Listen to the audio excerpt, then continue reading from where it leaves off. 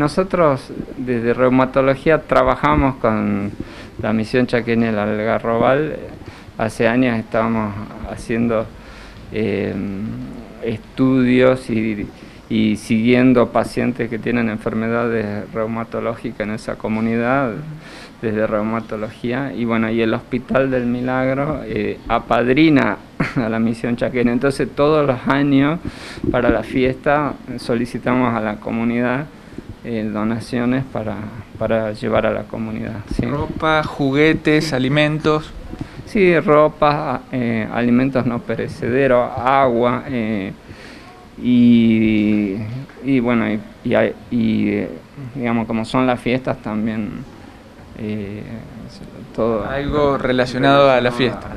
A la, Navidad. Doctor, la gente que quiera acercar algún tipo de donación, ¿dónde debe dejarlo para contribuir? las donaciones las, las, recibimos acá en el Hospital Señor del Milagro, Sarmiento 577, en el servicio de reumatología, en el horario de 8 a 14. Así que bueno, agradecemos a la comunidad.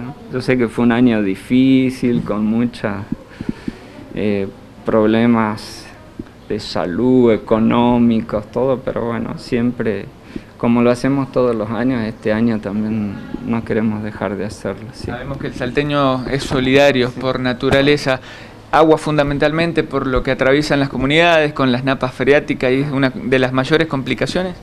Sí, el agua, el agua potable es un problema, digamos, de la que tiene la comunidad, sí, así que bueno, agua también eh, siempre eh, uno son las cosas básicas que, que también ayudan. ¿sí? Este año en la comunidad, eh, con el tema al principio que, hubo como eh, esa movida del agua potable, hicieron en la comunidad una, una, plantita potabilizadora que fue un gran avance para la comunidad porque eso es una cuestión básica que siempre desde años estamos pidiendo que que se solucione el tema del agua potable, porque si bien tienen a veces agua corriente, la gente confunde lo que es agua corriente que viene por una cañería con el agua potable.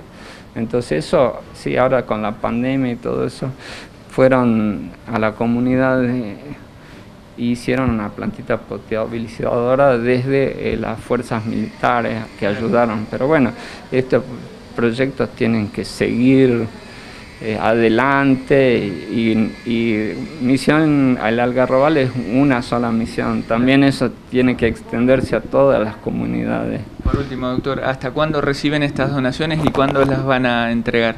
Bueno, eh, las donaciones las, las, vamos a recibir hasta las fechas, digamos, hasta que eh, hasta el 22 de, diciembre, ¿sí?